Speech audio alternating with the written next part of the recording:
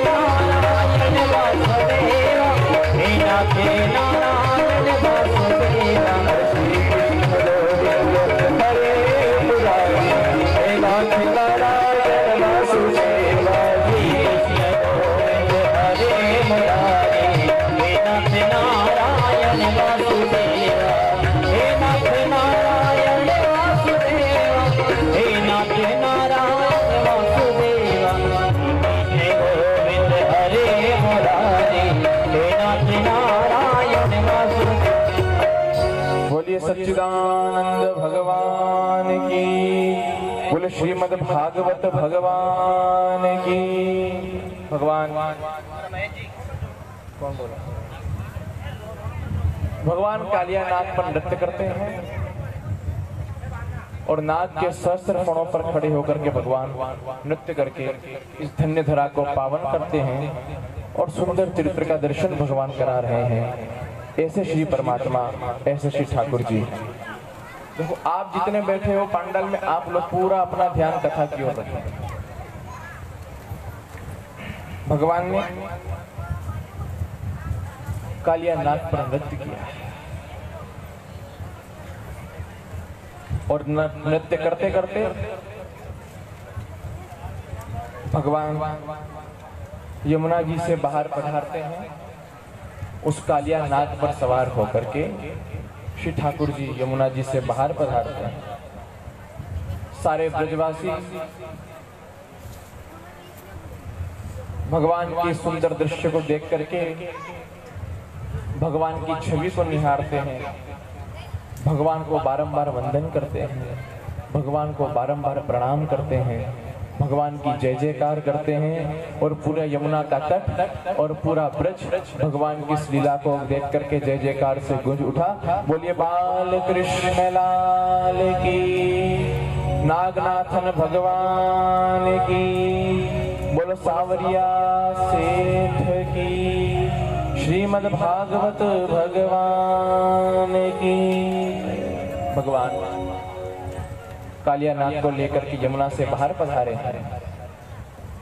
इसके पश्चात भगवान कालिया नाग से कहते हैं, आपका पूरा ध्यान कथा की ओर चाहता हूँ। भगवान कालिया नाग से कहते हैं कि भाई देख सुन,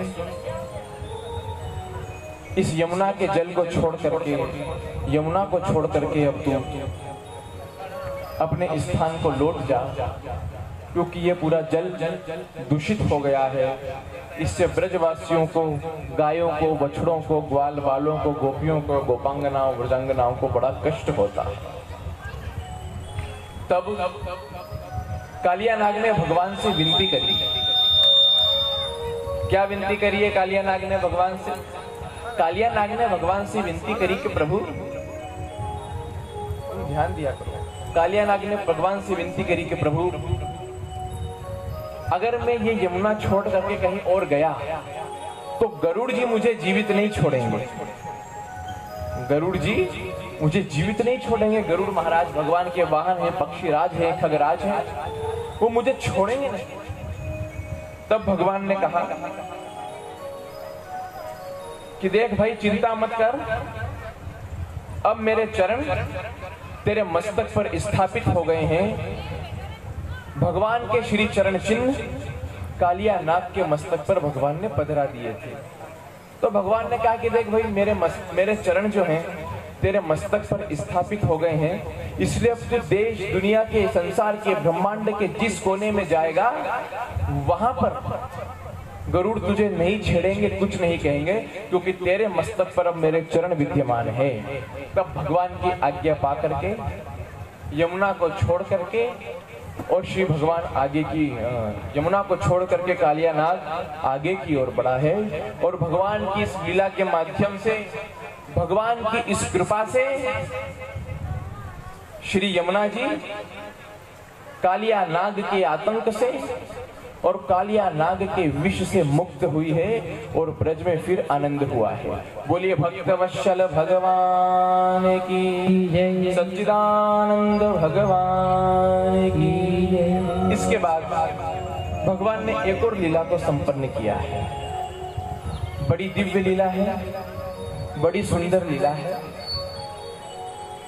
गोपियाँ जो है, गोपांगनाएँ जो है व्रजांगनाएँ जो है ये कौन है? इन गोपियों के मन में क्या भाव है? इन गोपियों के मन में भाव था कि हम परमात्मा कृष्ण को पति के रूप में प्राप्त करते हैं ठीक? भगवान को पति के रूप में प्राप्त कर जाएँ, ऐसा भगवान के मन में भाव गोपियों के मन में भाव है। अब देखो, ये जो हमारा शरीर है ना, पंडाल जो पीछे बीच में जितने बैठे सबका ध्यान व्यासपीठ की ओर भगवान ने कहा ये जो अपना शरीर है ना, देखो, इसका पति कोई भी हो सकता है, इसकी पत्नी कोई भी हो सकती है, लेकिन आत्मा का पति तो बोलो, कौन होता है? पूरा पांडाल जवाब देगा, आत्मा का पति परमात्मा होता है। इसलिए गोपियों के मन में देखिए, गोपियाँ सब गृहस्थ हैं। इन गोपियों का परिवार है, गोपियों के बच्चे हैं, गोपियों के पति है, घर गृहस्थी है। उसके बाद भी शरीर के स्तर से ऊपर उठ करके अब आत्मा के स्तर पर पहुँच रही है और आत्मा के स्तर से अब गोपियाँ परमात्मा के स्तर पर पहुँचने का प्रयास करना चाहती है। गोपियों ने मन में ये विचार किया है कि कृष्ण को हम पति के रूप में प्राप्त करें, क्योंकि वो उनके प्रियतम हैं, उनके सर्वस्व हैं। इसलिए गोपियाँ। नित्य प्रातः कालीन चार बजे उठ करके, गोपियाँ रोज ब्रह्म मुहूर्त में चार बजे उठ करके यमुना जल में स्नान करने जाती है। क्या करने जाती है? यमुना जी में स्नान करने के लिए जाती है गोपियाँ। बहुत ध्यान से सुनना, जितनी माताएँ बैठी हैं। गोपियाँ चार बजे उठ करके यमुना जी में स्नान करने जाती है और क्यों जाती है? क्योंकि प्रातः काल चार बजे यमुना में स्नान करने के पश्चात उसी यमुना के तट पर गोपियाँ माता कात्यायनी का पूजन करती हैं। और माता कात्यायनी का पूजन क्यों करती है? कि माँ की कृपा से उन्हें कृष्ण पति के रूप में प्राप्त हो जाए। देखो, माता जानकी भी सीता जी भी स्वयंवर से पहले माँ गौरी जगदम्बा से आशीर्वाद लेने गई। तो माँ से, माँ जानकी ने क्या प्रार्थना करी थी? मनु जाही सुंदर सावरो।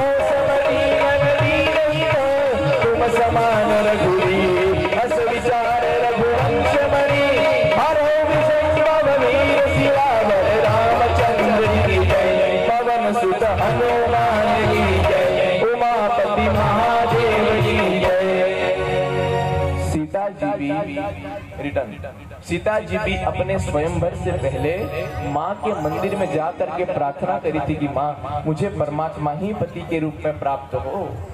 रुक्मणी जी ने भी विवाह से पहले माँ से प्रार्थना करी है कि द्वारिकाधीश ही मुझे पति के रूप में प्राप्त हो और वो गोपियाँ, वो गोपांगनाएँ, वो व्रजांगनाएँ भी आज यमुना के जल में प्रातः काल ब्रह्म वेला में स्नान करके यमुना के ही तट पे माता कात्यायनी का पूजन करती है। और माता कात्यायनी का पूजन करके क्या वर मांगती है कि श्री कृष्ण हमें पति के रूप में प्राप्त हो जाए। लेकिन देखो, आपको कथा के प्रारंभ में मैंने समझाया था ना कि ये नर से नारायण बनने की विधि है तो विधि में कहीं ना कहीं दोष हो जाता है, कहीं ना कोई कोई कमी आ जाती है। तो गोपियाँ कर तो बहुत अच्छा कर रही थी जीवन के अंदर, बहुत अच्छा कार्य चल रहा था। लेकिन पता उनसे दोष कहाँ हुआ। वो यमुना में स्नान करने तो जाती है, लेकिन नग्न होकर के यमुना के जल में स्नान करती है। और यहाँ शास्त्र ने कहा है कि जल के अंदर, सरोवर के अंदर नग्न होकर के स्नान नहीं करना चाहिए। उससे जल का, वरुण का अपमान होता है, दोष होता है। एक दिन यमुना में स्नान करके कात्यायनी का पूजन करके गोपियाँ गोपांगनाएँ लौटी अपने घर की ओर तो भगवान श्री कृष्ण उन्हें मार्ग में मिल गए। और भगवान ने उन गोपियों से कहा कि, अरे, कहाँ से आ रही बोली, यमुना जी से आ रही भगवान ने कहा, मैं जानता हूँ। मुझे पता है कि तुम नित्य चार बजे उठ करके यमुना का स्नान क्यों कर रही हो? माता कात्यायनी का पूजन क्यों कर रही हो? मुझे पति रूप में ही प्राप्त करना चाहती हो ना? ये मुझे पता है। क्यों? क्योंकि परमात्मा सर्वत्र अंतर्यामी है सर्व नियंता है जगत नियंता है। उन्हें सब ज्ञात है। भगवान ने कहा कि तुम मुझे पति के रूप में प्राप्त करने के लिए साधना कर रही हो, अनुष्ठान कर रही हो, ये बहुत अच्छी बात है। लेकिन गोपियों, सुनो, तुम एक गलती कर रही हो, एक दोष कर रही हो। बोले, प्रभु, क्या बात है? बोले, दोष ये कर रही हो कि तुम स्नान तो करती हो यमुना में कात्यायनी का पूजन भी करती हो, लेकिन यमुना के जल के अंदर जिस प्रकार से तुम स्नान कर रही हो, उससे श्री यमुना जी का, वरुण का, जल का अपमान हो रहा है, दोष हो रहा है, और ये उचित बात नहीं है। इसलिए इस प्रकार से स्नान करना बंद करो। मन माने ढंग से नहीं मन के मत से नहीं, शास्त्र के मत से जीवन जीना चाहिए। तो गोपियाँ थी, कल आपको सुना है ना कि एक गोपी के सामने ठाकुर गया और कहा, नेक सो माखन दे दे। तो गोपी ने क्या कहा? कथा याद है बोल गए गोपी क्या कही? माखन चाहिए, बैठ जा चुपचाप सामने। और वो अनंत कोटि ब्रह्मांड नायक आसन लगा करके सामने बैठा। ये वही तो गोपियाँ हैं, इनने का अच्छा हमको ज्ञान दे रहा है। जा, ये ज्ञान तेरे पास रहा भगवान ने कहा, इनको समझ नहीं आ रहा, इनको प्रैक्टिकल करके बताना पड़ेगा। तो अगले दिन जब भगवान भगवान ने ये भी कहा कि देखो, तुम जाती हो और कोई मन चला व्यक्ति आ जाए और वस्त्रों को चुरा ले तो कितना गलत होगा, कितनी गलत बात होगी इतनी शर्म की बात होगी, पर गोपियों ने भगवान की बात नहीं मानी। ये वही बात हो गई। हम गुरु को तो मानते हैं, लेकिन गुरु की नहीं मानते हैं, कथा को तो मानते हैं, कथा की नहीं मानते हैं, भगवान को तो मानते हैं, पर भगवान की नहीं मानते हैं। ये तो समस्या है जीवन के अंदर। ये तो दिक्कत है जीवन के अंदर। देखो आप। गोपियों ने भगवान की नहीं मानी। जो गोपियाँ भक्ति, प्रेम की ध्वजा है, उन्होंने भगवान से कहा, भगवान की मानी नहीं। भगवान ने कहा, कोई बात नहीं, इनको प्रैक्टिकल करके दिखाना पड़ेगा। और अगले दिन जब गोपियाँ प्रातः काल चार बजे उठ करके स्नान करने गई तो भगवान भी पहुँच गए। और जैसे ही गोपियाँ स्नान करने के लिए यमुना जी में प्रवेश करने लगी तो भगवान तुरंत पहुँचे और भगवान ने वो जितना भी वस्त्र थे घाट पर, पेड़ियों पर यमुना जी के गोपियों के उठा करके ले गए और कदम्ब के वृक्ष पे भगवान जा करके बैठ गए और वो सारे गोपियों के वस्त्र कदम्ब के वृक्ष पर टांग दिए। ठाकुर तो ठाकुर है। टांग दिए वो कदम्ब के वृक्ष पे, क्या बात है? इसके पश्चात बहुत देर हो गई, गोपियों को यमुना में स्नान करते करते बहुत समय व्यतीत हो गया। तब एक गोपी ने कहा, दूसरी गोपी से सखी सुनो, कितनी देर तक अब इस जल में क्रीड़ा करोगी? कितनी देर तक इस जल में स्नान करोगी? अरे, बाहर निकल करके माता कात्यायनी का पूजन भी तो करना है। चलो चलो चलो चलो, बाहर निकल अब जैसे ही बाहर निकलने के लिए अब दृष्टि तट की ओर डाली तो देखा कि एक भी वस्त्र नहीं है। क्या देखा? कि एक भी वस्त्र तट पे नहीं है। अरे, ये वस्त्र कहाँ चले गए? वस्त्र कहाँ गए? वस्त्र कहाँ गए? हाहाकार मच गया। अब तो घबराई कि प्रकाश होने वाला है, उजाला होने वाला है। कहीं लोग इकट्ठे हो जाएँगे तो हमारा क्या होगा? घबराने लगी सारी गोपियाँ। क्या करें क्या करें क्या करें? इधर उधर देखा अंधेरा था सुबह सुबह चार पाँच बजे का। कहीं कोई दिखाई नहीं दिया। इतने में कदम्ब के वृक्ष पे उनके वस्त्र लटके हुए दिखे। ये गोपिन गए वो देख। और ये अपने वस्त्र, बोले, वो यहाँ से वहाँ कैसे चले गए? किसी ने और ध्यान से देखा, अरे गए नहीं, ले जाए गए हैं। बोले, देख, वो टेढ़ी टांग वाला बैठा है, एक डाली के ऊपर बंसी लेकर। गेला किताब आह क्या छवि है भगवान क्या सुंदर स्वरूप है भगवान का। भगवान पीली पीताम्बर ओढ़े, मोर मुकुट धारण करे, काली कंबलिया डाले और हाथ में बंशी लेकर के साक्षात भगवान उस कदम्ब के वृक्ष पर बैठे हैं, छोटे से बाल कृष्ण गोपियों ने जब कृष्ण को देखा तो कहा एक नैया, अरे हमारे वस्त्र लौटा दे। बोले, मेरे पास तो वस्त्र है नहीं तुम्हारे। तो बोले, ये कदम्ब की डालियों पर क्या है? तो भगवान उल्टा जवाब देते, भगवान कहते ये मेरे कदम्ब के फूल आए तो कह रहे, बोले, ऐसे फूल? बोले, मेरा कदम्ब दुनिया में सबसे निराला है। अब ये भगवान, इन ठाकुर के लिए क्या कहा गया? तू टेढ़ो, टेढ़ी तेरी रे, डगरिया। अरे कन्हैया, हमारे वस्त्र दे दे, वस्त्र दे दे।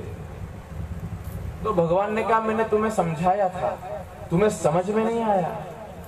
अब अगर अब, अब इस कथा को सुनना अब ये जो प्रसंग आ रहा है इसके लिए मस्तिष्क को थोड़ा ऊपर रखना हा? भगवान ने कहा कि अगर अपने वस्त्र चाहिए तो एक एक करके आओ और अपने वस्त्र लेकर के जाओ। ठीक? अब ये कथा दुनिया वाले ये भी कह सकते कि भगवान ने ये कैसी लीला करी? गोपियों के वस्त्र ले गए और फिर गोपियों को वस्त्र चाहिए थे तो कहा कि एक एक करके नदी में से बाहर आओ, लेकर के जाओ। एक बात समझ लेना, जब भगवान ने इस लीला को किया है, उस समय भगवान की उम्र सात वर्ष की है। कितनी? बोलो, कितनी है? मात्र सात वर्ष की परमात्मा की आयु है। सात वर्ष में ही भगवान ने गिरिराज धारण किया है और सात वर्ष में ही भगवान ने ये चीर हरण की लीला को संपन्न किया है।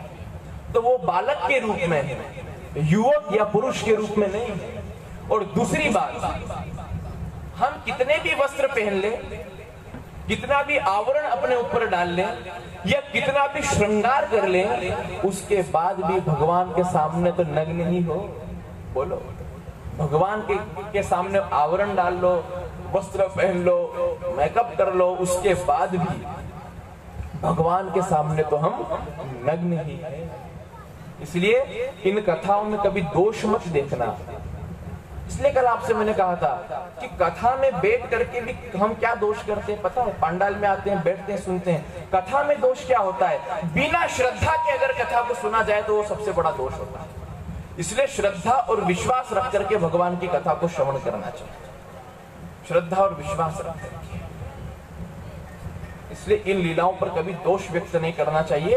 एक एक करके गोपियाँ बाहर आती है और अपने अपने वस्त्र लेकर के वस्त्र धारण करती है। तब भगवान तब भगवान ने आशीर्वाद दिया और भगवान ने कहा, चिंता मत करो, तुमने इतने दिनों तक मेरी तपस्या करी है। समय आएगा, शरद पूर्णिमा की रात्रि को मैं आऊँगा और शरद पूर्णिमा की रात्रि को जब चंद्रमा पूर्ण रूप से प्रकाश करेगा, आकाश में विद्यमान होगा, उस दिन यमुना के तट पर मैं तुम सभी गोपियों के साथ महाराज करूँगा। बोले भक्त वत्सल भगवान की सच्चिदानंद भगवान। अनेक लीलाएँ भगवान संपन्न। आई अब देखो कथा को यहाँ ला करके अब इस पे तात्विक सात्विक चर्चा मैं आपसे करना चाहता हूँ। अब पूरा एक गंभीरता के साथ अपने विचारों को, मस्तिष्क को, आत्मा को, मन को, व्यासपीठ की ओर अग्रसित रखेंगे। गोपियों ने भगवान को प्राप्त करने का प्रयास किया है। क्या हम कर रहे हैं? गोपियों ने भगवान के लिए तपस्या करी है। क्या हम, हालाँकि आप सबको बहुत प्रणाम है, बहुत धन्यवाद है। पांडाल में जितने बैठे हो, खूब तपस्या कर रहे हो। आप अपने लिए ताली बजाओ इसको भी तप ही कहते हैं। इसलिए नहीं कि धूप आए जो तप है ना। तीन चार घंटे यहाँ एक आसन से बैठना और भगवान की लीलाओं को श्रवण करना, ये क्या है? ये परमात्मा को प्राप्त करने की उत्कंठा ही तो हमारे मन के अंदर जागृत है। परमात्मा को प्राप्त करने का ही तो भाव हम अपने अंदर लेकर के बैठे हैं। तो अगर ऐसे भाव को लेकर के बैठे हो तो विश्वास रखना, एक दिन परमात्मा अवश्य प्राप्त होगा, अवश्य प्राप्त होगा। अवश्य। आइए। देखिए। गोपियों ने भगवान को प्राप्त करने का प्रयास किया। क्योंकि आपको पता है, जब उद्धव ने गोपियों से पूछा कि बताओ, रात दिन रोती रहती हो, कोई काम नहीं है तो गोपियों ने क्या जवाब दिया था? श्याम तन, श्याम मन, श्याम ही हमारो धन। आठों याम उदो हम शाम ही सो काम। ये शाम रति शाम मति शाम ही हमारी गति और शाम के बिना हमें कुछ नहीं भान है। ये गोपियों का भाव है, ये गोपियों का भाव वो गोपी भाव हमारे अंदर जागृत होना चाहिए। जब तक हमारे अंदर गोपांगनाओं की कृपा से और किशोरी जी की कृपा से गोपी भाव जागृत नहीं होगा, तब तक परमात्मा की प्राप्ति असंभव है। क्योंकि कृष्ण को पकड़ने के लिए, वो पकड़ में नहीं आता है, वो बंधन में नहीं आता है हाँ वो बाँध देता है। ये पक्की बात है, उसको बांधने जाओगे तो तुम्हें बाँध देगा। कैसे माया में, मोह में मध में, लोभ में, अहंकार में, ऐसा घुमाएगा इस संसार के अंदर की निकले तो थे हरि भजन को, निकसे थे हरि भजन को करने लगे कछु काम।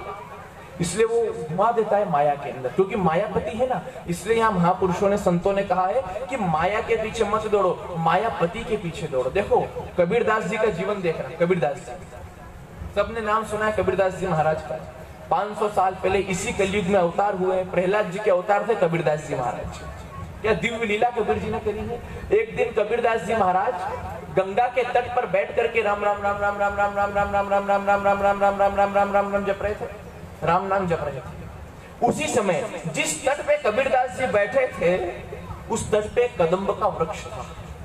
तो तट पे बैठ के तो कबीर जी राम राम कर रहे हैं और उस वट वृक्ष के पीछे खड़े हैं भगवान राम स्वयं। और एक आवाज़ सुनाई दी कबीर जी को, क्या? कि कबीरा, मन निर्मल भया। कबीरदास जी का दोहा है, क्या? कि कबीरा, मन निर्मल भया। जैसे गंगा गंगा के नीर के समान मन निर्मल होना चाहिए। कबीरदास जी के दोहे में उन्होंने कहा है, कबीरा मन निर्मल भया,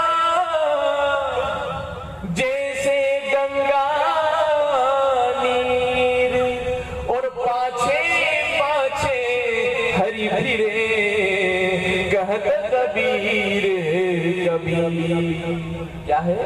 पाछे पाछे हरि हरि रे कहत कबीर कबीर। कबीर जी तो तट पे बैठ के राम राम कर रहे हैं और वृक्ष के पीछे राम जी खड़े होकर के कबीर कबीर जप रहे हैं। ये क्यों? क्योंकि कबीर माया के पीछे नहीं दौड़े, मायापति के पीछे दौड़े, मायापति के पीछे दौड़े। ऐसा हमारा भाव परमात्मा के चरणों में स्थापित होना चाहिए। ऐसी श्रद्धा और ऐसी निष्ठा होनी चाहिए। तब जाकर के जीवन में परमात्मा की प्राप्ति। आइए। देखो, एक बात समझना। कितना समय जीवन में हमारे पास है इस पे विचार करो। समय बहुत कम है। गया है और चला जाएगा। लेकिन अगर उसमें भजन नहीं हुआ तो जीते जी इस मनुष्य जीवन में घाटे का सौदा हो जाएगा। निश्चिंत होके क्यों बैठे निश्चिंत होना है तो भगवान के भरोसे निश्चिंत रहना। लेकिन आप इस संसार के भरोसे, परिवार के भरोसे, सत्ता और संपत्ति और धन के भरोसे निश्चित होते हो तो ये जीवन की सबसे बड़ी मूर्खता है। देखो आप, काल जो है ना, काल यानी मृत्यु, काल सबके पीछे है, लेकिन कोई देख नहीं पा रहा है पलट करके। कह रहे, काल हमारे पीछे दौड़ रहा है, भजन कर लू, भजन कर लू, भजन कर लू, भजन कर लू। काल सबके पीछे दौड़ रहा है। देखो एक एक जीव, एक चीटी या मकोड़ा कुछ भी कह लो आप, एक जीव अगर धरती पे चल रहा है तो वो निश्चिंत है कि अपना ही राज है। लेकिन वो भूल गया कि उसके पीछे काल मेंढक के रूप में आ रहा है। मेंढक जैसे कोई जीव दिखा अपनी जीवान निकाल करके उसको निगल जाता है कि नहीं निगलता है वो जीव निश्चिंत चल रहा है, लेकिन उस उस छोटे से कीड़े के पीछे काल मेंढक के रूप में आ रहा है। और मेंढक ने सोचा, अपना कोई क्या बिगाड़ेगा? मेंढक भी निश्चित घूम रहा है, लेकिन उस मेंढक के पीछे काल सर्प के रूप में चल रहा है। सर्प मेंढक को देखते ही उस अपना आहार बना लेता है। तो कीड़े के पीछे काल मेंढक के रूप में चल रहा है, मेंढक के रूप में पीछे काल सर्प के रूप में चल रहा है, और वो सर्प सोचता है, अपना कोई क्या बिगाड़ेगा? लेकिन उसके पीछे काल मयूर के, मोर के रूप में चल रहा है। बोलो। और उस मयूर के पीछे, मयूर सोचता, अपना तो आनंद में अपना क्या होना है? लेकिन उस मयूर के पीछे काल सिंह के रूप में, शेर के रूप में चल रहा है। उसी प्रकार इस मनुष्य के पीछे भी काल चल रहा है, दौड़ रहा है। कब पकड़ ले और वो काल हमें अपना ग्रास बना ले। समय का कोई भरोसा नहीं है। इसलिए रहते समय में भगवान की कथाओं को श्रवण करके और भगवान की सेवा करके, संतों का सानिध्य करके और भगवान के नाम का जप करके अपनी आत्मा को परमात्मा में समाहित करने का प्रयास करो। उस व्यक्ति का जीवन धन्य है और उसकी मृत्यु उत्सव है और महोत्सव है। ये प्रयास जीवन के अंदर होना चाहिए। अब देखो, अब एक ऐसी कथा आ रही है, जिसमें प्रवेश करने में हमें बड़ा डर लगता है। अब जो कथा आ रही है ना, इस अब पूरा पांडाल पीछे तक, एक तक शांति लगा करके बैठना, अगर ध्यान भटका तो कथा का रस चला जाएगा। बिल्कुल शांति हो जाए, बच्चों को भी शांत तरह के ध्यान से ध्यान इधर रखना। अब जो कथा आ रही है, उस कथा में सुखदेव जी भी क्या कहेंगे कहते ही हैं लेकिन हम हमारी कह रहे हैं कि इस कथा में प्रवेश करने में अब हमें थोड़ा भय लगता है डर लगता है। अब जो कथा है। क्यों? क्योंकि ये जो कथा है ये कथा है विरह की। विरह की कथा। देखो। जब भगवान को 11 वर्ष छप्पन दिन होने आए ब्रज के अंदर लीला करते करते कितने? ग्यारह वर्ष और छप्पन दिन होने आए, ब्रज के अंदर लीला करते करते तब नारद जी के मन में विचार आया कि ये भगवान कब तक खेलते रहेंगे, माखन चुराते रहेंगे। चलो, पहले जा करके और कंस को सचेत कर कि कब तक निश्चिंत बैठेगा मूर्ख। कब तक, अब देखो कई लोग क्या कहते पता है कि कोई इधर की बात उधर करे तो नारद बोलो, ये आपके व्यवहार है कि नहीं? जल्दी बोलो, आप ही करते हो। कोई इधर की बात उधर करे तो लोग क्या कहते मालूम? ये है नहीं गुरुजी ये नारद विद्या लगा रहा एक बात कहें आपसे अगर नारद जी इधर की उधर नहीं करते नहीं तो वो रावण कंस अभी भी यहाँ बैठे होते ना ज़मीन खोद के गाड़ देते अपने को ज़िंदा। अगर ये नारद जी नहीं होते तो। हाँ, नारद। नारद जी के लिए क्या कहा भागवत में? नारम ज्ञानम ददाती इति नारद। हो नारम ज्ञानम ददाती इति नारद। जो ज्ञान प्रदान करे, वो नारद। और नारद जी के नाम में रहस्य देखो, नारद, जिसकी बात कभी रद्द ना हो, वो नारद नारद तो देवर्षि, हमारे पूजनीय है, हमारे वंदनीय है, हमारे महापुरुष है, भगवत स्वरूप है। नारद जी दौड़े दौड़े मथुरा में गए। और कहा, एक अंश कब तक इस नींद में पड़ा रहेगा? चल, तेरा काल बड़ा होता जा रहा है। वो कृष्ण और बलराम को मथुरा में बुला। तू एक काम कर, धनुष यज्ञ कर। और धनुष यज्ञ के बहाने कृष्ण और बलराम को मथुरा में बुला और यहाँ ला करके उनको समाप्त कर दे। क्यों बुला रहे हैं कि उनको बुलाऊँगा तो ये कंस समाप्त हो जाएगा लेकिन अब आप देखो, ये तो कंस ने जा करके ये तो भगवान ने, नारद जी ने जा करके कंस को बताया। लेकिन अगर ब्रज के अंदर भगवान ने जो वादा किया है गोपियों से, गोपांगनाओं से, कि मैं महाराज करूँगा। तो शरद पूर्णिमा की रात्रि आई और भगवान यमुना के तट पर पहुँचे। शरद पूर्णिमा की रात्रि है, चंद्रमा पूर्ण रूप से आकाश मंडल में विराजमान है। भगवान की सुंदर छटा का दर्शन हो रहा है। भगवान यमुना के तट पर पहुँच करके बंशी का नाद कर रहे हैं। सुंदर बंशी का नाद भगवान कर रहे हैं। आ अद्भुत नाद है भगवान की बंशी का। उस भाव में आ जाओ। भगवान बंशी का नाद कर रहे हैं। यमुना के तट पे शरद पूर्णिमा की रात्रि को बंशी का नाद हो रहा है।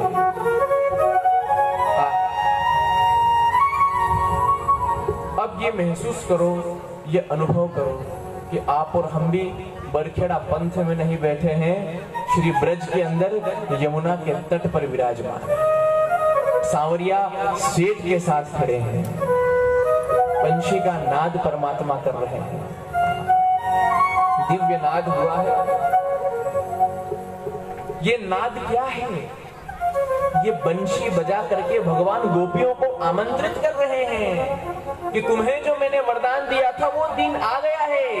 शरद पूर्णिमा की रात्रि का आगमन हो गया है।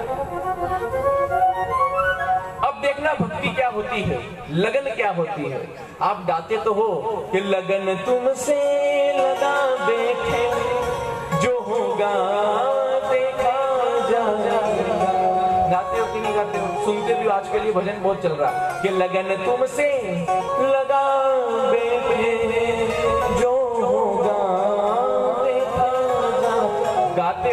लेकिन इसको आचरण में नहीं लाते हो। गो, गोपियाँ लेकर के आई है। गोपियों ने जैसे ही भगवान की वंशी का नाद सुना तो एक गोपी अपने घर में अपने परिवार को भोजन परोस रही थी। पर जो ही भगवान की वंशी का नाद सुना भोजन के पात्र को पटका और दौड़ी है यमुना के तट की क्यों? क्योंकि भगवान ने बुलाया। परमात्मा ने बुलाया। एक संसार जब हमें बुलाता है तो हम रिश्तेदारियाँ निभाने के लिए दौड़े दौड़े कितना दूर चले जाते हैं। तो सोचो, हमारा सगा रिश्तेदार परमात्मा जब हमें बुलाता है तो हमारे जीवन का सबसे बड़ा सौभाग्य होता है। भाग्य होता है। गोपी दौड़ी। दूसरी गोपी अपने घर में अपने बच्चे को दूध पान करा रही थी। जैसे ही भगवान की बंशी का नाद सुना, अपने बच्चे को पालने में छोड़ा और वो भी दौड़ी है यमुना के तट की ओर। एक गोपी अपने कक्ष में श्रृंगार कर रही थी। जैसे ही भगवान की वंशी का नाद सुना तो होठ पर लगाने वाली वस्तु नेत्र में नेत्र में लगाने वाली होठों पर उठपटांग श्रृंगार करके और वो भी दौड़ी यमुना के तट की ओर। एक गोपी ने जैसे ही, अब ये बात बड़ी ध्यान से सुनना, एक गोपी ने जैसे ही भगवान की बंशी सुन करके यमुना की ओर दौड़ना चाहा, उसके पति ने हाथ पकड़ लिया और कहा, मैं नहीं जाने देना उसके पति ने हाथ पकड़ लिया, रोक दिया कि मैं नहीं जाने दूँगा और कमरे में बंद कर दिया, ताला लगा दिया बाहर से। गोपी को कमरे में बंद करके उसके पति ने बाहर से ताला लगा दिया। तो उसकी भक्ति, उसका प्रेम परमात्मा के चरणों में देखो, वो गोपी अंदर से अपने पति से बोली, कमरे में बंद गोपी, बाहर अपने पति से कह रही है कि अच्छा मुझे कमरे में घेर दिया, ताला लगा दिया। किस लिए? तुम्हें मेरे शरीर से प्रेम है। मेरे शरीर से है। जाओ, इस शरीर को तुम रखो और उस कक्ष के अंदर बैठे बैठे उस गोपी ने अपने शरीर को त्याग दिया और उस कक्ष में से गोपी की आत्मा निकल करके परमात्मा की ओर दौड़ी। ये है भक्ति। ये है भक्ति की श्रेष्ठता और ये है भक्ति की पराकाष्ठा और सीमा। उस स्तर पे हमारी भक्ति होना चाहिए। दौड़ी है वो गोपी। क्योंकि शरीर का पति कोई भी हो सकता है। शरीर की पत्नी कोई भी हो सकती है, लेकिन आत्मा का पति तो परमात्मा ही होता है। इसलिए हमारी आत्मा का वर्ण परमात्मा के साथ हो जाए, यही हमारे जीवन की धन्यता है। वो गोपी दौड़ी ऐसे करके हज़ारों हज़ार गोपियाँ अर्धरात्रि में शरद पूर्णिमा की आधी रात को जहाँ भगवान विराजमान है, यमुना के तट पर सारी गोपियाँ पहुँच गई। अब देखो लीला। लीला बिहारी ने फिर लीला करी। ठाकुर ने फिर लीला करी। है पहुँच गई गोपियाँ। तो भगवान ने कहा, अरे, तुम सब रात्रि को यहाँ क्या कर रहे हो? अच्छा अच्छा वाह स्वागतम छे महाभाग। गोपियों, तुम्हारा स्वागत है स्वागत है स्वागत है। अब एक बात बताओ। आपको कोई आमंत्रण दे घर पे आके कि साहब, कल मेरे यहाँ जिमने आना कल सुबह आपका भोजन मेरे यहाँ पे है, आप मेरे यहाँ भोजन करने आना। और आप सुबह उसके घर पे जाके खड़े हो और वो घर धनी बोले कि क्यों आए कैसे आए काय को आए तो आपकी क्या गति? बोलो, कैसा लगेगा आपको क्या ये भारी बेजती कर रहा है? एक तो हमको आमंत्रित करता और कहता है काय को आए इसी प्रकार जब गोपियाँ पहुँची ना यमुना के तट पे तो भगवान ने कहा, स्वागत है स्वागत है। अच्छा बताओ कैसे आना हुआ? बंशी बजा के खुद बुलाया, आमंत्रित किया, आमंत्रण दिया आने के लिए। और जब गोपियाँ दौड़ी दौड़ी आई तो कन्हैया कह रहे अच्छा कैसे आना हुआ? अच्छा अच्छा मुझे ऐसा लगता है कि शरद पूर्णिमा की रात्रि, चांदनी रात है, बड़ी सुंदर होती है तो इसके कारण यमुना का जल अमृत के समान दिख रहा है, जंगल बड़ा सुंदर दिखाई दे रहा है। ये देखने के लिए आई हो रात को? अच्छा अच्छा बहुत अच्छी बात है, देख लिया, अब घर जाओ। ये है ठाकुर। पकड़ में ऐसे आने वाला नहीं है, परीक्षा लेता है। और अगर इसकी परीक्षा में आप पास हो गए तो उस परमात्मा के पास हो गए।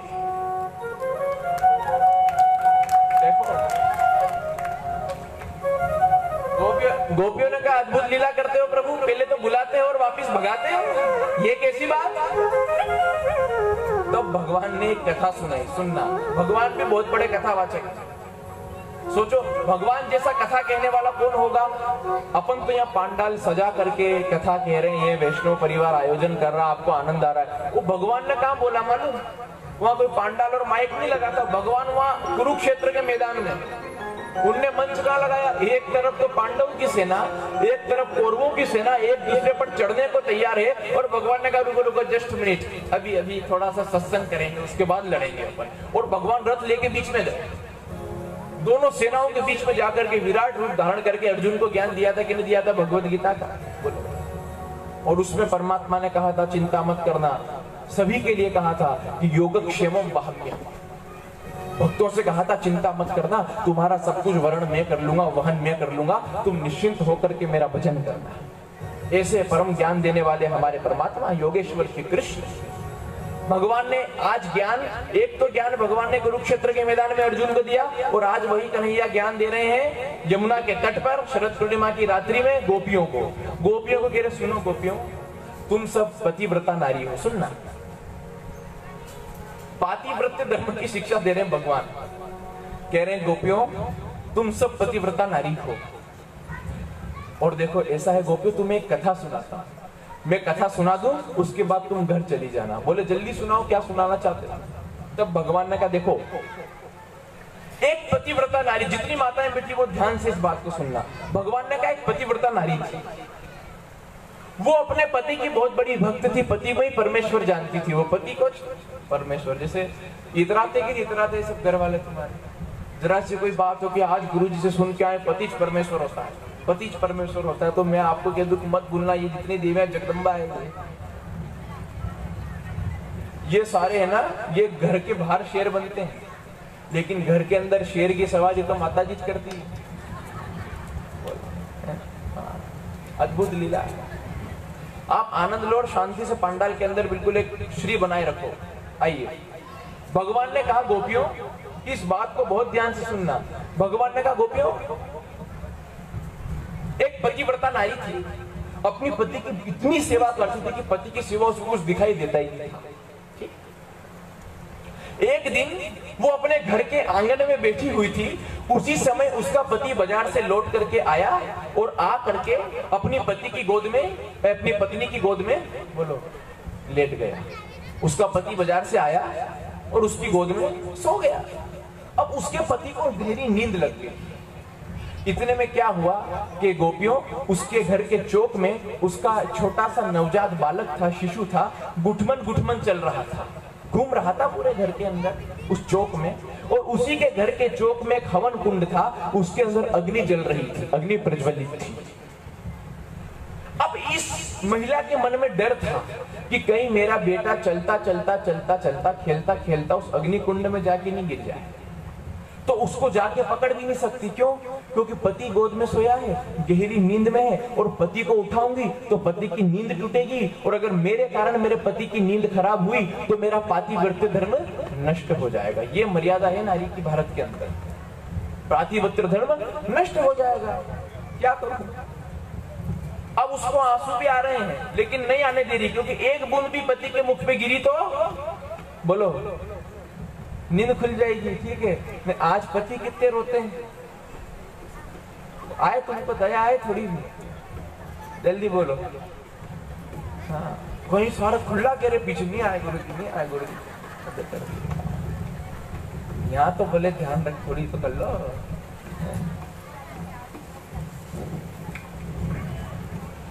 उसके मन में जो शंका थी, वही घटना घट गई। उसका बच्चा गुटमन गुटमन चलता चलता अग्नि कुंड के पास पहुँचा और उस अग्नि के अंदर गिर गया। क्या हुआ उस अग्नि के अंदर वो बालक? जल्दी बोलो। गिर गया। और जैसे वो उस अग्नि के अंदर जाकर के गिरा, अब ये नहीं उठ सकती, क्योंकि पति गोद में सोया है। लेकिन घंटे, दो घंटे बाद उसका पति नींद से जागा और जैसे गोद में से उठा तो वो दौड़ करके अग्निकुंड के पास गई। उसे लगा था, मेरा बच्चा तो जल करके भस्म हो गया होगा, राख हो गया होगा। लेकिन उसने पातिव्रत्य धर्म निभाया था ना इतनी देर से। तो जैसे अग्निकुंड के पास जाकर के गोपियों देखा तो उसका बच्चा अग्नि के अंदर खेल रहा था। वो अग्नि भी उसके सतीत्व से, उसके पातिव्रत्य से शीतल हो गई, शीतल हो गई, ठंड हो गई। और बच्चा खिल खिला करके उसके अंदर खेल रहा है। भगवान सुना रही है कथा। गोपियों को। गोपियों, ये होती है पातिव्रत धर्म की निष्ठा। चलो चलो, अपने घर जाओ और अपने पतियों की सेवा करो। गोपियों ने कहा, बहुत अच्छी बात है, हम अभी चली जाएँगी, लेकिन आपके साथ हम भी रही हैं तो हमको भी कथा पाँच नहीं आती। आपने तो कथा सुना दी, अब एक हम सुनाना चाहती है। उसके, एक एक कथा आपकी हमने सुन ली। अब एक कथा आप हमारी सुन लो, उसके बाद जो निर्णय आप दोगे, हम घर चली जाएँगे। अभी तो भगवान ने सुनाई। अब गोपियों ने कथा सुनानी प्रारंभ करी और गोपियों ने कहा, प्रभु, जैसे आपकी कहानी के अंदर एक पत्नी, पतिव्रत धर्म वाली पत्नी थी, ऐसे हमारी कहानी में भी एक पत्नी और पति है। बड़ा ध्यान से प्रभु आप सुनना। और गोपियों ने कहा कि, भगवान, एक महिला थी, वो भी बड़ी पतिव्रता थी, पति की बड़ी सेवा करती थी, पति को परमेश्वर मानती थी। हाँ। पति जब घर में आता तो गरम गरम भोजन पति के लिए बनाती। जब पति भोजन करने बैठता तो अपने हाथ से पंखा झालती, पति के चरण दबाती, पति को चाय, दूध करती। जैसे आज पति करता है कि नहीं करता है सुबह सुबह का मतलब लो, मैडम। बोलो। वही। उसमें क्या हंसने के बाद युग का प्रभाव है ये तो। और आपके पास तो अच्छा सुरक्षा का वजह कोई के क्यों ऐसे क्यों करती हो? तो तुम झड़ से कह देती हो। युग का प्रभाव है, सर। हमारा काय का दोष तो वो पति, वो औरत, वो महिला, सुनो, अपने पति की खूब सेवा करती थी, निष्ठा से सेवा करती एक दिन क्या हुआ? एक दिन ऐसा हुआ भगवान, कि उसके पति ने उससे कहा, उस महिला से कि सुनो, देवी, मैं कुछ दिनों के लिए ढेर सारा धन कमाने के लिए देश से दूसरे देश जा रहा हूँ, देश से बाहर जा रहा हूँ। तो उसकी पत्नी ने कहा, स्वामी, आप चले जाओगे। तो मेरा पातिव्रत्य धर्म कैसे निभेगा? मैं तो नित्य आपकी सेवा करके अपना धर्म निभाती हूँ। आप चले जाओगे तो मैं किसकी ये कथा खाली गोपियों ने, भगवान को नहीं, आप लोगों की भी समझने की ध्यान से सुनना। उस महिला ने कहा थी स्वामी, आप अगर बाहर चले जाओगे तो फिर मैं सेवा किसकी करूँगी? तब उस महिला के पति ने एक मिट्टी का पुतला बनाया। क्या किया? मिट्टी का पुतला बना करके उस महिला के हाथ में दिया, अपनी पत्नी के हाथ में दिया और कहा, सुन, इसी को मेरा रूप मानना और इसकी सेवा करना मैं नहीं आऊँ जब तक। ठीक है साहब, तेरा धर्म नहीं छूटेगा। पति तो चला गया और अब वो रोज अंदर से दरवाज़ा लगा लेती घर का और वो जो मिट्टी का जो पुतला था उसका, उसकी वो सेवा करती थी। उसको पति मानती, उसको स्नान कराती, उसको भोजन कराती, सोचो आप, वो मिट्टी के कर रही थी, अपने जीते जी की नहीं करते, अपन कितने अच्छे हैं। हालाँकि यहाँ जितनी माताएँ बेटी बहुत अच्छी है। आप खूब सेवा करती हो अपने पतियों की। आप अपने लिए ताली बजा लो एक आप तो सब बहुत अच्छी हो सच में आप बहुत अच्छी हो। नहीं ऐसा थोड़ी है कि आप बहुत बढ़िया क्योंकि कल एक दिन कथा और बांचनी अपने को। हाँ। आइए। हाँ, रत्नावत जी बड़े ध्यान से सुन रहे हो इस बात को। थोड़ा आसन ही बदल लिया उनने पूरी। क्या कोई समस्या है इस प्रकार की जीवन में? हैं? हाँ इतने दुबले पड़ रहे उनका बात क्या, दुख क्या है? बताओ गुरु जी को आज। न्याव करें आपका। आनंद है हाँ बीच बीच में आनंद लेना चाहिए। तुम यूँ यूँ बैठे रहो तो मैं भी गुरु जी ने कुछ गलत दरवाज़ा अंदर से बंद करके ध्यान से बहुत बहुत मज़ाक की नहीं, बहुत गंभीरता की कथा है।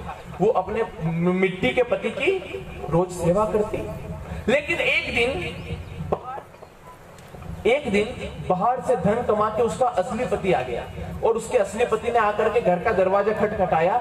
उस समय वो महिला घर के अंदर मिट्टी के पति की सेवा कर रही थी। तो गोपियों ने कहा, प्रभु, आप बताओ, जब असली पति आ गया तो उस मिट्टी के पति की सेवा करनी चाहिए कि जाके द्वार खोलना चाहिए? असली पति की सेवा करनी चाहिए? भगवान ने कहा, ये भी कोई समझ सुन कहने की बात है। जब असली आ गया तो मिट्टी की क्यों कर रही है? जाके असली को पूछे। तो प्रभु, अभी तक हम जिन पतियों के साथ थी, वो मिट्टी के पुतले थे और हमें आत्मा का पति तुम, तुम्हारे रूप में परमात्मा मिल गया है, असली मिल गया तो मिट्टी के पुतले के पास जाकर के उसकी सेवा क्यों करेंगे? अब तो हम तुम्हारी ही सेवा करेंगे, इसलिए हम लौट करके घर पे नहीं जाएँगे नहीं जाएँगे नहीं जाएँगे। तब भगवान ने कहा कि ये परीक्षा में पास है, सफल है। तब भगवान ने गोपियों के साथ रास किया। महारास नहीं किया है अभी, सुनना। हाँ रास महारास में अंतर अभी देखा रास हुआ तो नृत्य प्रारंभ हुआ। नाचना गाने को रास मत समझना। हालाँकि समय कम है, इस पे कल विस्तार करूँगा मैं। नाचने गाने को रास मत समझ लेना, कृष्ण और गोपियों का। ये गोपियाँ कौन थी? रास क्यों हुआ? ये कल मैं आपको बताऊँगा। अभी आप, क्योंकि समय की मर्यादा है, कृष्ण रुक्मणी विवाह करना है। डॉक्टर साहब, तैयारी है कि नहीं? अच्छा गए क्या हुआ हाँ। तैयारी भी रखें, बराती लोग भी अपनी तैयारी रखें। आइए। अब देखिए। रास हुआ तो रास करते करते पता है क्या हुआ? रास करते करते ना गोपियों के मन में अभिमान आ गया। और अभिमान किस बात का आया? कि देखो, हम कितनी परम सुंदरी हैं। और हम परमात्मा के लिए कितनी खास हैं कि भगवान सब कुछ छोड़ के हमारे साथ रास कर रहे हैं। भगवान ने कहा, जिसके मन में अभिमान आएगा, उसके पास में नहीं रह सकता। और जैसे गोपियों के मन में अभिमान आया, नृत्य करते करते भगवान रास मंडल के बीच में से अंतर ध्यान हो गए और जब भगवान गायब हुए, तब गोपियों को भान आया कि हमसे बहुत बड़ी गलती हो गई, हमने अभिमान कर लिया। इसलिए भगवान हमें छोड़ करके चले गए हैं, चले गए पूरे वन में ढूंढा। कहीं भगवान का पता नहीं चला। लौट करके सारी गोपियाँ फिर रास मंडल में आई और भगवान को विरह में पुकारा और भगवान को रो रो करके जब गोपियों ने पुकारा और उनके मुख से उस समय जो गीत निकला भगवान के विरह में, वो गीत श्रीमद भागवत के अंदर गोपी गीत कहा गया है। दो लाइन गोपी गीत की गा करके हम आगे बढ़ेंगे। गोपियाँ गोपी गीत में भगवान से निवेदन कर रही है। जयति तेधिकम्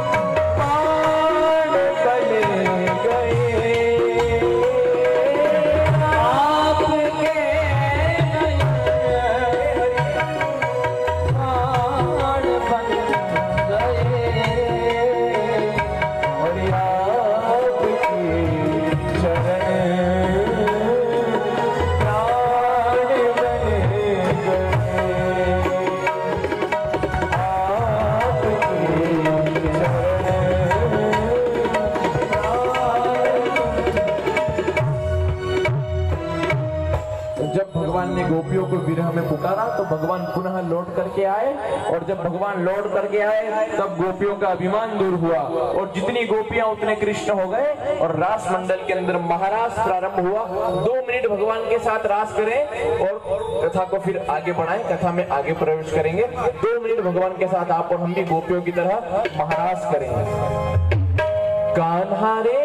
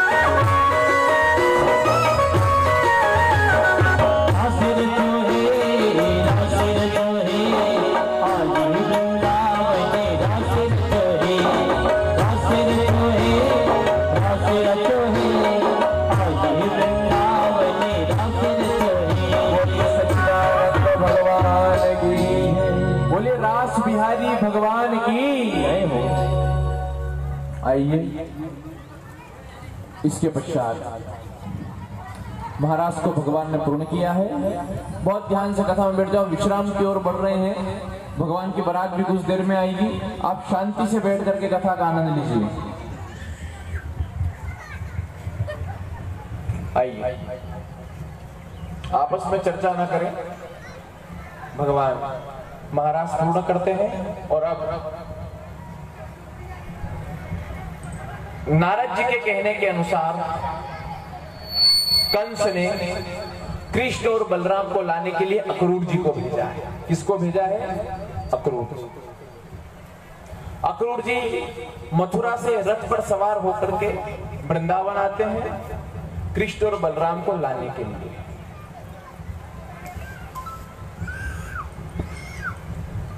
अक्रूर जी महाराज जैसे नंद भवन में प्रवेश करते हैं। भगवान कृष्ण, भगवान बलराम काका, अक्रूर काका अक्रूर काका अक्रूर काका कह करके और अक्रूर जी से लिपट जाते हैं। अक्रूर जी के को धन्य कर देते हैं। अब अब भोजन प्रसाद हुआ, स्वागत, सम्मान हुआ। और रात्रि में जब आने का कारण पूछा गया तो अक्रूर जी ने कह दिया कि ऐसा है जी महाराज कंस के कह, बहुत ध्यान से सुनना पूरी सभा, कि महाराज कंस के कहने पर मैं कृष्ण और बलराम को लेवाने के लिए आया। उस समय यशोदा भोजन करने बैठी थी। लेकिन अभी एक ग्रास हाथ में लिया ही था, एक निवाला हाथ में लिया ही था यशोदा ने।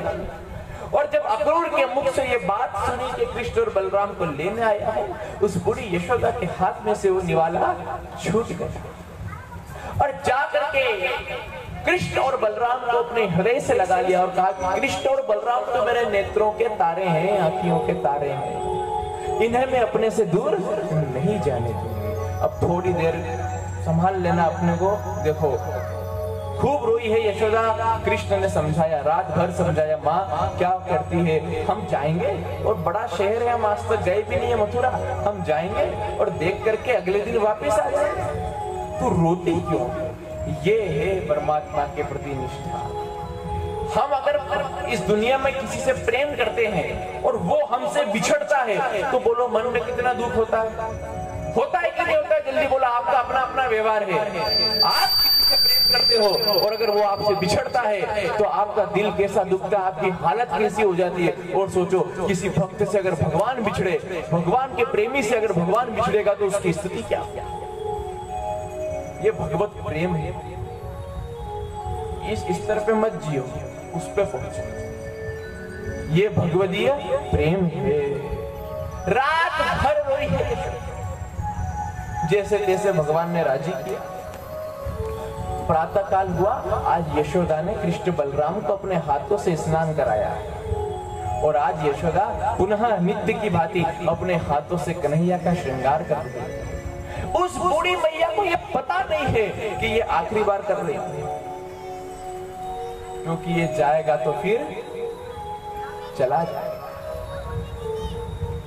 अब जब भोजन बना तो आज गोद में एक तरफ़ कृष्ण और एक तरफ़ बलराम को बिठा करके यशोदा ने अपने हाथों से भोजन कराया। समय हुआ जाने का तो जैसे ही नंद भवन का द्वार खुला है, और भगवान देखते रह गए, कि जो ही नंद भवन का द्वार खुला तो नंद भवन के मैदान में कोसों तक जहाँ तक दिखाई देता है, भीड़ ही भीड़। गोप और ग्वाले गोपियाँ, ब्रजांगनाएँ, ब्रजवासी ब्रजवासी खड़े हैं, भीड़ ही भीड़। और वो इसलिए खड़े हैं कि हम अपने कन्हैया को अपने से दूर नहीं जाने देगा। भगवान जैसे जैसे नंद भवन की सीढ़ियाँ उतरे और उतर करके परमात्मा जो उस भीड़ में घुसे हैं, कोई हाथ पकड़ रहा है, कोई चरण पकड़ रहा है, कोई बायों में गलवैया दे रहा है, कोई पटका पकड़ रहा है, कोई इधर खींचे, कोई उधर खींचे। ग्वाल कहे, हमें छोड़ के कन्हैया मत जाओ। गोपियाँ कह रही है, हमें छोड़ के कन्हैया मत जाओ। और तो और, उस भीड़ में गाय और बछड़े भी खड़े हैं। वो भी भगवान की तरफ़ देख करके आँसू बहा रहे हैं कि हमें छोड़ करके मत जाओ। हे कन्हैया, तुम हमें छोड़ करके चले जाओगे तो हमें कल वन में चराने के लिए कौन लेकर के जाएगा? मनुष्य के साथ साथ वो गाय और बछड़े भी अश्रु प्रवाह कर रहे हैं। भगवान से करुण रुदन कर रहे हैं, करुण पुकार कर रहे हैं। तो आगे बढ़े, जैसे जैसे आगे बढ़े, रथ में चढ़े, जो रथ में चढ़े, इतने में ही रथ में चढ़ना हुआ भगवान का, और यशोदा गिरती, पड़ती, रोती रोती आई और कहा, हे लाला हे लाला, मुझे अभी पता चलो कन्हैया, मुझे अभी पता चला कि तू मेरा है। बोलो, क्या स्थिति है उस माँ की आज? उसने कहा, मुझे अभी पता चला, तू मेरा नहीं है, तू तो देवकी का है। अरे लाला, मैंने तुझे उखल से बांधा, मैंने तेरी पिटाई लगाई, मैंने तुझे डांटा, कहीं इस बात से नाराज़ होकर देवकी के पास तो नहीं जा रहा? कहा था ना कि भक्ति ऐसी करना कि हमारी आँखों में तो आया है। आपकी भक्ति देख करके आपके लिए भगवान की आँखों में आँसू आ जाना चाहिए। आज यशोदा की ये बात सुन करके कन्हैया, वो अनंत कोटि ब्रह्मांड नायक स्वयं ब्रह्म उस रथ में से कूद पड़ा और यशोदा को गले लगा करके, रोने लगा कि माँ, तू कैसी बात करती है? तूने मुझे पाला और तूने मुझे अपना दूध पिलाया है। तू मेरी माँ है, माँ। भगवान ने यशोदा के चरणों में प्रणाम किया खूब धन्यता मानी है यशोदा की ये विरह बहुत बुरी चीज़ होती है भगवान कोई किसी से बिछड़े नहीं बस इतनी कृपा करा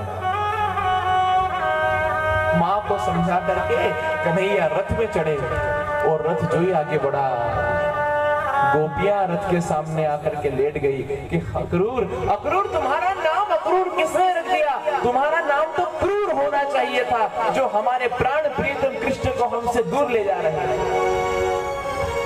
गोपियों को समझा करके भगवान ने हटाया है मार्ग से। तो स्वयं किशोरी जी आ गई। किशोरी जी से कहा कि आप तो जानती है, आप कौन है, मैं कौन हूँ क्या करने आए हैं? तब किशोरी जी, राधा रानी तो ठाकुर की आह्लादनी शक्ति है तो श्री किशोरी जी ने मार्ग दे दिया और रथ आगे बढ़ा। तब गोपियों ने भगवान से क्या कहा है? जब गोपियाँ छोड़ के जाने लगे, भगवान छोड़ के जाने लगे तो गोपियों ने कहा, जा रहे हो तो जाओ।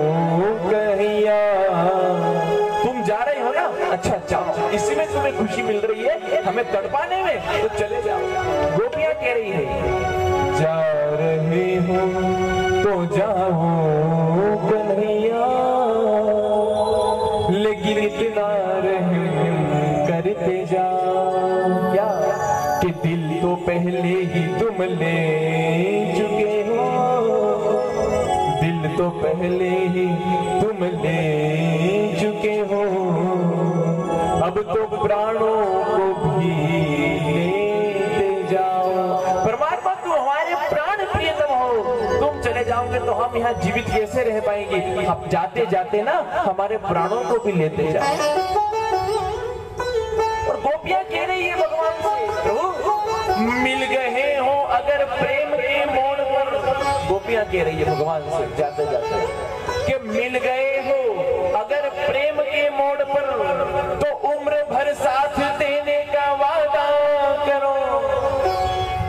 जा रहे हो छोड़ के हमें अपना रसिया बना करके, अपनी भक्ति में लगा करके और हमसे ही बंधन छुड़ा करके जा। तो गोपिया कह रही है मिल गए हो अगर प्रेम के मोड़ पर तो उम्र भर साथ देने का वादा करो। और आ गए हो तो जाने की जिद ना करो। और जा